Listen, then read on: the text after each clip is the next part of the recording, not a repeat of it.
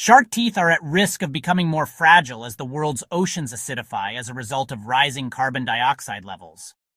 That was the discovery made by researchers at Heinrich Heine University Dusseldorf, who collected naturally discarded intact teeth from the aquarium floor of a blacktip reef shark enclosure. They then incubated these teeth for eight weeks in two separate tanks, one with a pH of 8.1 representing current oceanic conditions, and one with a pH of 7.3, comma, corresponding to the predicted level for 2300.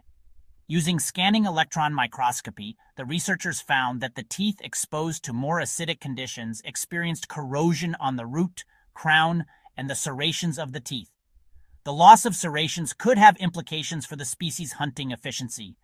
Structural degradation also compromises the overall strength of the tooth, increasing fragility.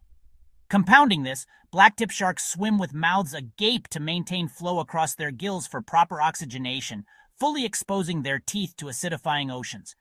However, the authors note that results may differ in living organisms.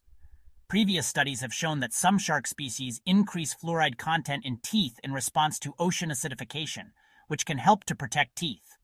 As such, they recommend future studies should look behind the chemical effects on non-living tissue to include actual chemical structure and mechanical resilience in live sharks.